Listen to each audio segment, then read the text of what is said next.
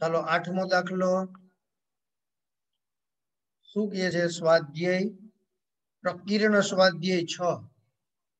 Example at એકદમ સરળ. શું કીધું ખબર તમને? જેનું શીર્ષ? તો ધ્યાન દેજો. પ્રધાન અક્ષ.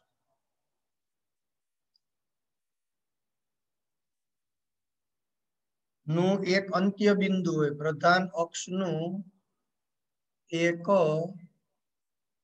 અંત્ય બિંદુ હોય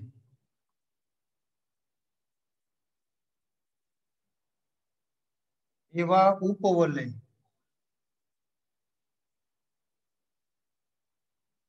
ચાલો ઉપવલય એક્સ સ્ક્વેર છેદમાં a square plus y square છેદમાં બી સ્ક્વેર બરાબર વન.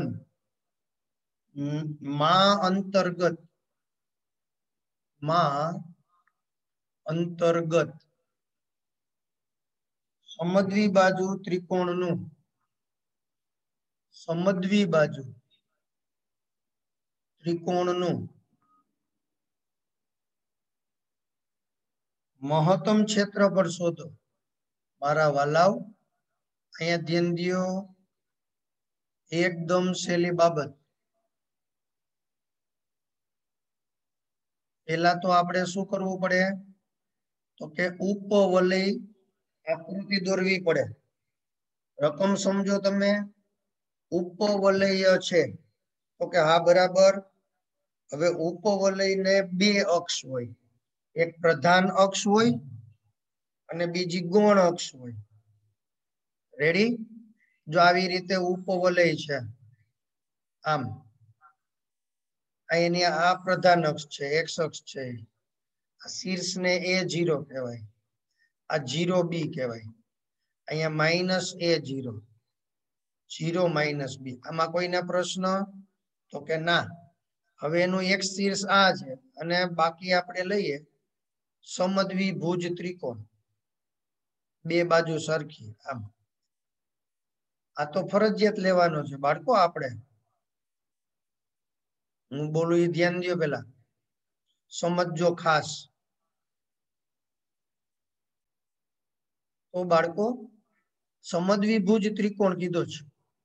એટલે આ બે બાજુ સરખી કીધી. અહીંયા આપણે શીર્ષ કીધું. રેડી એવું ના હોય તો તમારો ત્રિકોણ આમે આવે છે આમ. આપણે તો મહત્તમ જોઈ છે એટલે આ રીતે. હાલે, આજે મેં નવો ત્રિકોણ દોર્યો ને, એવું હાલે. આપણે તો શું છે કે આના પ્રચલ, જો એક્સ વર્ગ છેદમાં એ વર્ગ વાય વર્ગ છેદમાં બી વર્ગ, બરાબર એક, ના પ્રચલ સમીકરણો, પ્રચલ બિંદુ બીજા શબ્દમાં કહી તો એક્સ બરાબર એ કોસ થીટા અને વાય બરાબર બી સાઇન થીટા હા. એક્સ બરાબર એ કોસ થીટા અહીંયા આપણે એ કોસ થીટા મૂકીએ એટલે a square cos square theta a square b square sine square theta b square a square a square ગયા. Cos square વત્તા સાઇન સ્ક્વેર એટલે એક. આને પ્રચલ બિંદુ કહેવાય. આપણે પ્રચલ બિંદુ પ્રમાણે ધારી લેશું. પ્રચલ બિંદુ પ્રમાણે ધારી લેશું. ક્લિયર દીકરાઓ? સમજાય છે? તો હા. એટલે આ બિંદુને આપણે લઈએ. A cos theta b sine theta પ્રથમ ચરણ છે એટલે. આને લેશું. Plus a cos theta minus b sine theta ચોથું ચરણ છે એટલે. આવી રીતે આપણે એને અહીંયા બિંદુ એ અહીંયા પી અને ક્યુ પછી એનું ક્ષેત્રફળ લેશું. રેડી તમે અહીંયા લીધા હોય બિંદુ તોય ચાલે. જો ભાઈ ખાસ, તો તમારે અહીંયા માઇનસ એ કોસ થીટા અને બી સાઇન થીટા એ ધન મળે. આમાં minus a cos theta minus b sine theta ત્રીજું ચરણ, એટલે બંને ઋણ. આવી રીતે ખાલી નિશાની જુદી આવે. દાખલો ગણશો એમાં સરખું જ રહેશે. સમજાય છે મારી વાત? હા. ખાસ ધ્યાન દો બાળકો, તમે અહીંયા લખી શકો છો અથવા અહીંયા દોરી શકો છો. જવાબ સરખો જ આવશે. એટલે એવી ચિંતા નથી કરવાની. આપણે તો મહત્તમ ક્ષેત્રફળની વાત છે. હવે એને સમજીએ નિરાતે.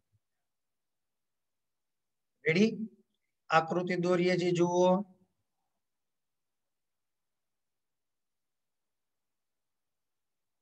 એક્સ અક્ષ ને વાય અક્ષ. ક્લિયર ઘર મેળે આકૃતિ દોરી જો. વાંધો નથી ને કઈ?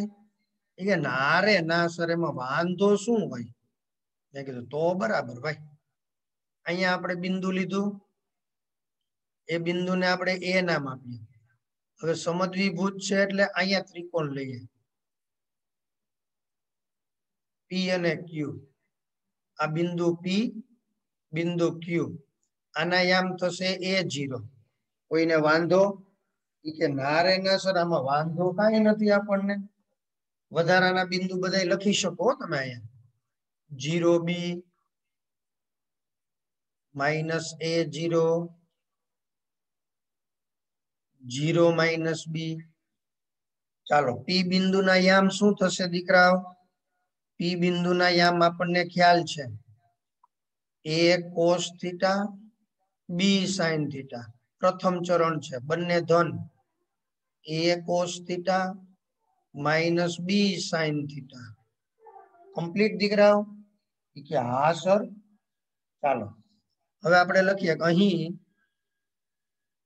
ત્રિકોણ એ પી બી એ ઉપવલય એક્સ સ્ક્વેર છેદમાં a square plus y square છેદમાં બી સ્ક્વેર બરાબર એક માં અંતર્ગત છે.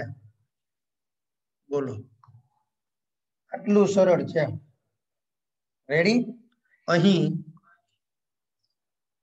એના યામ શું થશે તો કે એ જીરો પી ના યામ a cos theta b sine theta તથા ક્યુ ના યામ a cos theta minus b sine theta. ફરીથી ધ્યાન દેજો દીકરાઓ, આ પ્રચલ પ્રમાણે ચાલવાનું છે. X one y one, x two y two લઈને ચાલશો તો લાંબો દાખલો થાય, દુખી થાવ.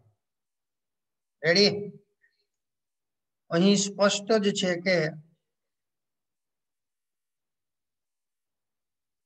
પ્રધાન અક્ષ કઈ છે? એ એ ડેશ. ક્લિયર દીકરાઓ કે, હા, સર. તો હવે ત્રિકોણનું ક્ષેત્રફળ, ઈ આપણને જો અહીંયા ઉતર્યો ઉતર્યો, મારા દાયરા દીકરા અહીંયા આવી જાઓ હવે અહીંયા એ છે, આ પી છે ક્યુ છે. તો આ ભાઈ, એ નેવું નો ખૂણો જ હોય અહીંયા અહીંયા નેવું નો ખૂણો જ હોય, એટલે એ વેધ બને. શું બને? વેધ. કોઈને વાંધો? જો હવે ત્યાં ખાસ ધ્યાન દેજો. તો હવે ત્રિકોણ એપી ક્યુ નું ક્ષેત્રફળ એપી ક્યુ નું ક્ષેત્રફળ. ખાસ ધ્યાન દેજો, એક દુતિયાંશ, પાયો પાયો એટલે પી ક્યુ અને વેધ વેધ એટલે એ એમ અહીંયા એમ નામ આપી દઈ એ એમ હવે જ સમજવાનું છે, મારા વાલાવ સમજવાનું છે. જો ભાઈ આ બે વચ્ચેનું અંતર પી અને ક્યુ વચ્ચેનું અંતર તો આવડે. અહીંથી. બરાબર? આ બી સાઇન થીટા છે. સમજો ખાસ, અંતર સૂત્ર જ છે દીકરાઓ. એમાં આ વાય અક્ષને સમાંતર છે. રેડી આટલું માપ છે એ બી બી સાઈન થીટા છે. તો આટલું માપ એ બી સાઈન થીટા છે, આ નીચેનું માપ. તો પી ક્યુ નું માપ થઈ જશે ટુ જો ખાસ ધ્યાન દો શું થાય? ટુ બી સાઇન થીટા આ સમજવાનું છે. કોઈને પ્રશ્ન હોય તો પૂછો. ટુ બી સાઇન થીટા હવે એ એમ એ એમ તો આપને અહીંથી ખબર પડે. અહીંયા ઓ છે. એ એમ એટલે ઓ એ માઇનસ ઓ એમ તો ભાઈ ઓ એ ક્યાં? ઓ થી એ સુધી અંતર એટલે સ્મોલ એ છે. અને ઓએમ એટલે આ અંતર આ કહેવાય એ કોસ થીટા ખાસ ખાસ. મારા વાલાવ, અહીંયા સમજો. આ જે તમને મળે છે, આ પી બિંદુનો એક્સ યામ એ કોસ થીટા ઈ આ છે. ક્લિયર દીકરાઓ? એટલે a minus a cos theta આવું માપ એ એમ નું મળ્યું. એ એમ નું માપ થશે ઓ એ માઇનસ ઓ એમ અહીંયા આપણે આ જોઈએ છે તો એ ઓ. આ, એમાંથી ઓ બાદ. ક્લિયર એટલે a minus a cos theta બસ, આટલું જ તમારી પાસે જ્ઞાન હોય પાયાનું. એટલે હવે જવાબ સુધી પહોંચી શકાય. A minus a cos theta હવે આમાંથી બે અને બે ઉડી જશે. એ, બી, પછી સાઈન થીટા અને અહીંયા થશે વન માઇનસ કોસ થીટા આ ક્ષેત્રફળ થયું. ક્ષેત્રફળને આપણે એ વડે દર્શાવી દઈએ. કેપિટલ એ કોઈને વાંધો એ કે ના. હવે ગુણી નાખવા હોય તો એ વાંધો નહીં. અને નહીં તો ડાયરેક્ટ જ. ચાલો ડી એ ડી થીટા આ એ બી. સાઈન થીટા એમ અને આનું વિકલન. વન માઇનસ કોસનું વિકલન. શું થાય? Minus sine.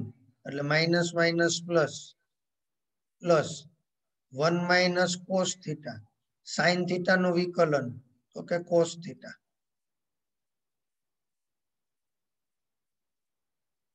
Sine square theta વત્તા cos theta minus cos square theta. આવું થયું. સાઈન સ્ક્વેર થીટા મગજમાં આવે છે? કે હા. હજી આપણે અહીંયા ખાલી ઓમ જ ફેરવીએ છીએ. ડી એ ડી થીટા બરાબર એ બી. કોસ થીટા, જો આને ફેરવી નાખો છો. Sine square theta minus cos square theta. એમાંથી માઇનસ લઈ લે ને. એટલે cos square minus sine square. અને cos square minus sine square એટલે કોસ ટુ થીટા એટલે cos theta minus cos two theta આવું થયું. D a by d theta કોઈને વાંધો? કે ના સર જો ધ્યાન દેજો. હવે એનું ફરીથી વિકલન લેશું. ફરીથી.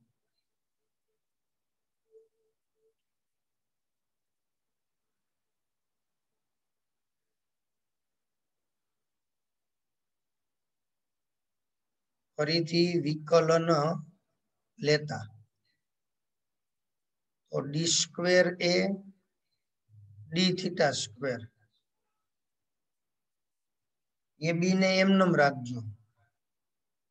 કોસ થીટા નું થાય માઇનસ સાઈન થીટા કોસનું હો.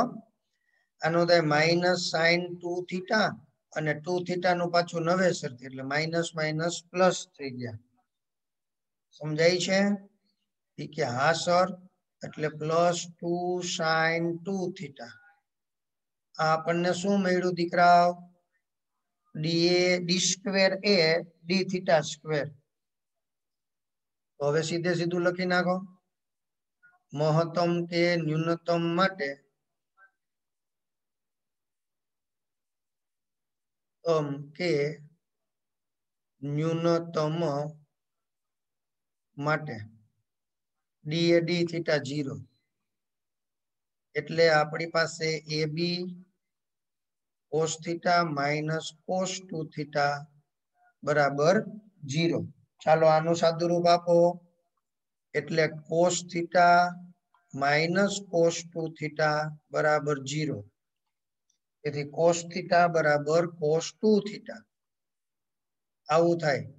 હવે આપણે ત્રિકોણમિતીય વિધેયો એમાં આવું શીખીને આવ્યા છીએ.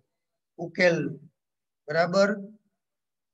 હવે આ થીટા અને કોસ ટુ થીટા આવી રીતે છે. કોસ થીટા બરાબર કોસ ટુ થીટા. સમજાય છે? ખાસ કાળજી લેજો બાળકો. હવે અહીંયા આપણી પાસે બે બાજુથી કોષને દૂર કરવા છે. એમાં તમારે શું જોવું પડે ભલા માણસ?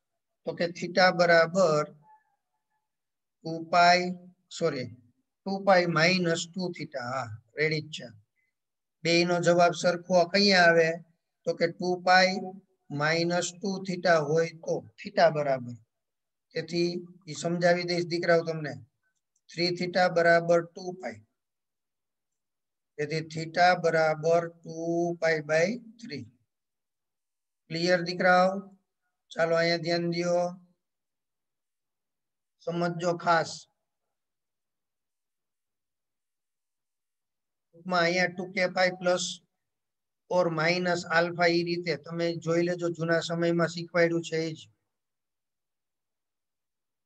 તો હવે આ મૂલ્ય તો થીટા મળી ગયું આપણને, દીકરા. તો શું કરવાનું? થીટા મળી જાય તો શું કરવાનું? કિંમત મૂક દેવાની. હવે એફ ડબલ ડેશ એટલે કે d square.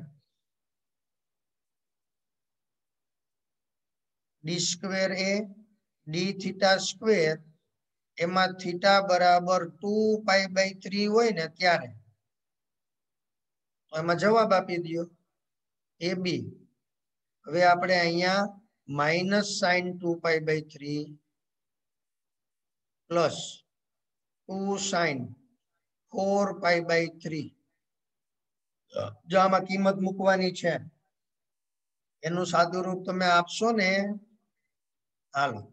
Two pi by three એટલે તો બીજું ચરણ છે. આગળ માઇનસ નિશાની છે એટલે root three by two four pi by three ત્રીજું ચરણ.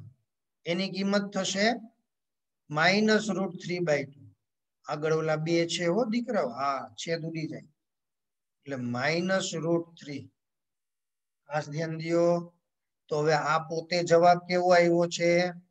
ઋણ આવ્યો છે. જોજો હો ભાઈ. આ છે એ લેસ ધેન જીરો છે, ઋણ છે.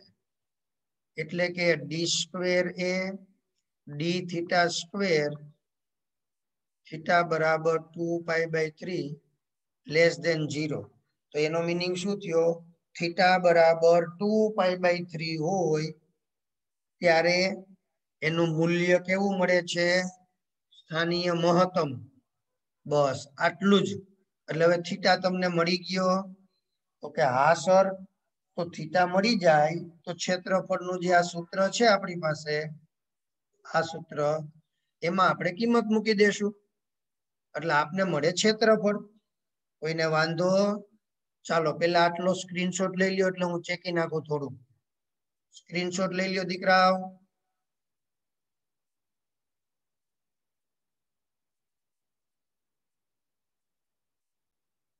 તો હવે થીટા બરાબર ટુ પાઈ બાય થ્રી ની વેલ્યુ આપણે અહીંયા મૂકશું. જો આ ક્ષેત્રફળમાં ઉપરની બાબતને આપણે અહીંયા રાખી દઈશું એમને. એટલે ક્ષેત્રફળ એટલે એ બી. પછી sine two pi by three. One minus cos two pi by three. આવું થાય. એટલે a b. Sine two pi by three ની કિંમત છે plus root three by two root three by two પણ પ્લસ અહીંયા વન આની કિંમત માઇનસ વન આપ. ખાસ કાળજીપૂર્વક જોજો. એટલે a b root three by two one plus one આપ એટલે થ્રી બાય ટુ એટલે થયો જવાબ three root three by four a b આ મળ્યું મહત્તમ ક્ષેત્રફળ. મહત્તમ ક્લિયર બાળકો? ચાલો આનો સ્ક્રીનશોટ લઈ લ્યો.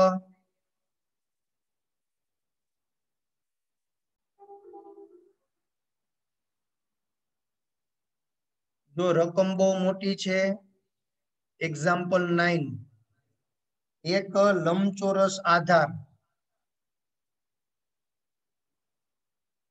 લંબચોરસ આધાર. તથા પૃષ્ઠો ધરાવતી, એટલે બાજુઓ ધરાવતી એમ. પૃષ્ઠો ધરાવતી એક ખુલ્લી ટાંકી, એક ખુલ્લી ટાંકી. ની ઊંડાઈ ઊંડાઈ ઈ બે મીટર તથા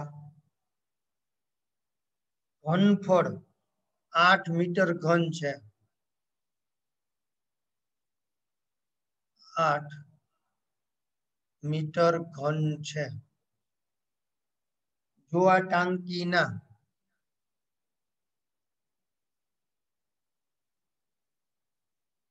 આધારના બાંધકામની કિંમત આધાર ના બાંધકામની કિંમત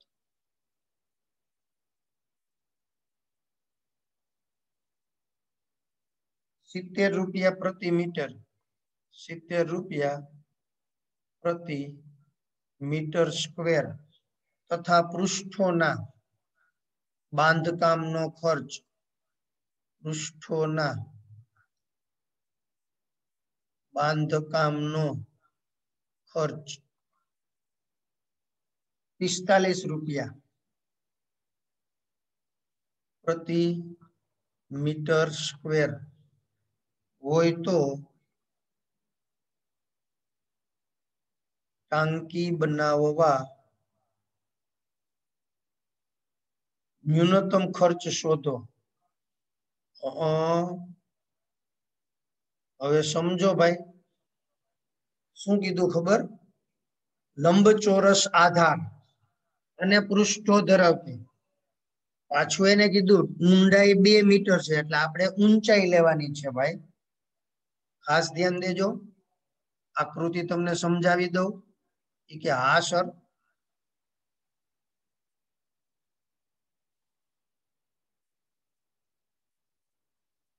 ટાંકી જોઈ લીધી દીકરાઓ? કે હા, સાહેબ. ખુલ્લી ટાંકી છે ઉપરના ભાગમાં ખુલ્લો ભાગ છે. હવે આપણે એની લંબાઈ લઈએ, ધારો કે એક્સ પહોળાઈ લઈએ વાય તો આના ભાગમાં ઊંચાઈ આવે બે. ખાસ ધ્યાન દેજો, આ વાય છે, આ એક્સ છે, આ ઊંચાઈ બે છે. ક્લિયર દીકરાઓ? ખાસ આકૃતિ કેવી સરસ મજાની દોરી છે. મને કે હા, સર. તો પછી તમારે કાળજી લેવાની છે દાખલો એકદમ સહેલો છે.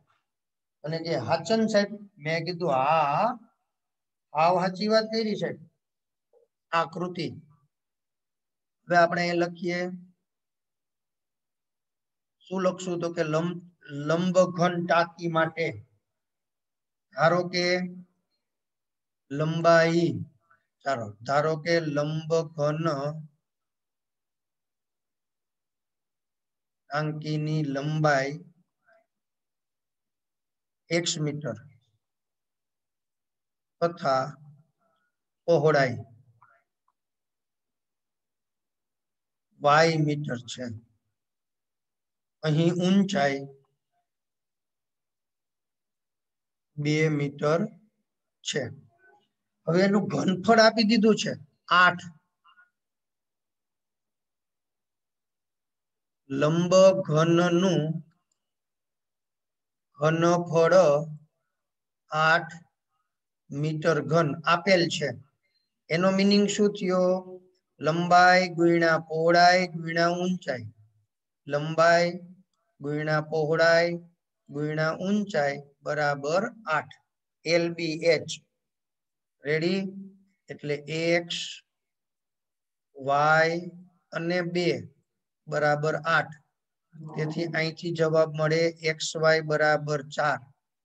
મારા વાલાવ કે હા, સર.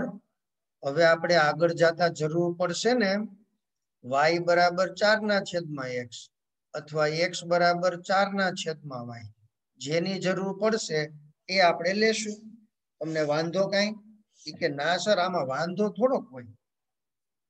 હવે આપણે પૃષ્ઠફળ, આપણે ક્ષેત્રફળ મેળવવાનું છે. હા, બાંધકામ કરવું છે ને તો ક્ષેત્રફળની જરૂર છે. ક્લિયર દીકરાઓ? ક્ષેત્રફળની હો. ચાલો. હવે ક્ષેત્રફળ. તો ક્ષેત્રફળ કેમ મળે? તો કે તળિયાનું ક્ષેત્રફળ એટલે એક્સ વાય ખાસ ધ્યાન દેજો. તળિયાનું ક્ષેત્રફળ એક્સ વાય ક્લિયર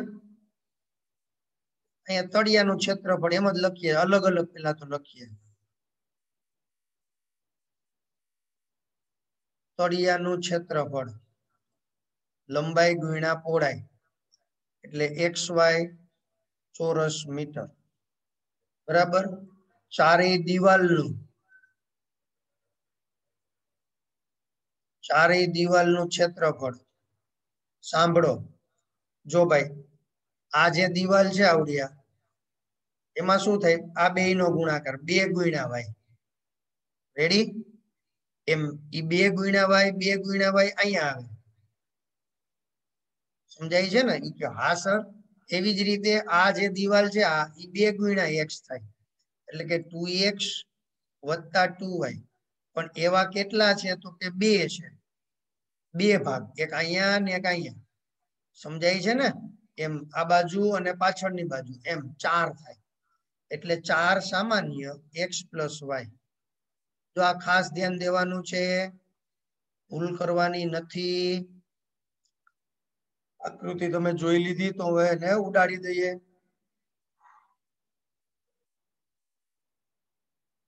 હવે તો સાવ સહેલું છે દીકરા ક્ષેત્રફળ. તળિયાના ક્ષેત્રફળની વાત હોય તો?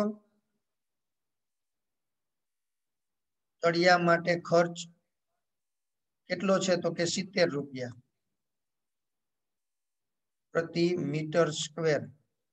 પૃષ્ઠો માટેનો ખર્ચ પિસ્તાલીસ રૂપિયા પ્રતિ મીટર સ્ક્વેર. તેથી ખર્ચ ખર્ચ એટલે કોસ્ટ કહેવાય, સી કહી દઈએ. તળિયા માટે સિત્તેર છે એટલે સિત્તેર એક્સ વાય. તળિયા માટે. પછી પિસ્તાલીસ ચાર કાઉન્સમાં એક્સ વત્તા વાય. પિસ્તાલીસ. ચાલો સાદું રૂપ આપી દો એટલે સિત્તેર એક્સ વાય પ્લસ પિસ્તાલીસ ગુણ્યા ચાર એટલે એકસો એસી કાઉન્સમાં એક્સ વત્તા વાય.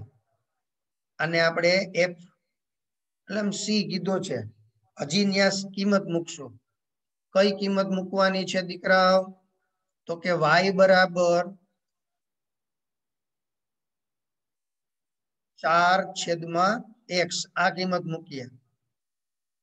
તેથી સી બરાબર સિત્તેર એક્સ અહીંયા વાય ને સ્થાને મૂકવાના છે. વત્તા એકસો એસી એક્સ વાય ને સ્થાને મૂકવાના છે. ક્લિયર દીકરાઓ? સાદુરૂપ આપો. સિત્તેર એટલે પાંત્રીસ એક્સ વર્ગ છેદમાં બે. કોઈને વાંધો? કે ના.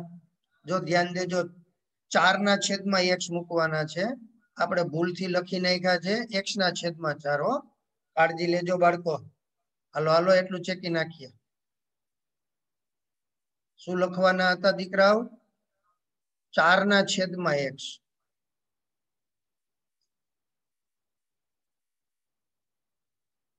ચાલો એક્સ એક્સ ઉડી જાય, સાત ચોક અઠાવી બસો એસી. હવે અહીંયા એકસો એસી, પછી એમનેમ લખો તો વાંધો નહીં, અને સાદું રૂપ આપો તો પણ ચિંતા નથી. એક્સ વર્ગ વત્તા ચાર એક્સ પણ એમનેમ લખો ને, વાંધો નહીં. હવે આને આપણે એફ ઓફ એક્સ કહી દઈએ. તેથી એફ ડેશ એક્સ આનો થાય જીરો વત્તા એકસો એસી. One minus four upon x square. ભૂલાય નહીં. એટલે એકસો એસી one minus four upon x square આપણને મળે છે એફ ડેશ એક્સ. ક્લિયર? તો હજી ડબલ ડેશ મેળવી લ્યો ભેગા ભેગા. F double dash x. એકસો એસી. આનું જીરો અને ઓમાં શું થાય? જો ભાઈ માઇનસ ચાર એક્સની માઇનસ બે, આ માઇનસ બે આગળ આવે ને એક ઘાત ઓછી, એટલે પ્લસ આઠ ના છેદમાં એક્સ ઘન. ક્લિયર ધ્યાન દેજો સાદું રૂપ દઈ દો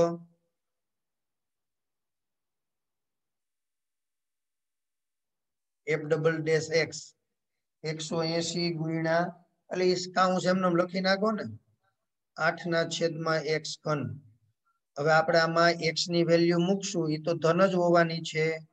એટલે કોઈ પણ પ્રમાણે એ જવાબ આપણને ધન મળશે. એટલે સ્થાનીય ન્યૂનતમ જ થશે ખર્ચ. હાલો.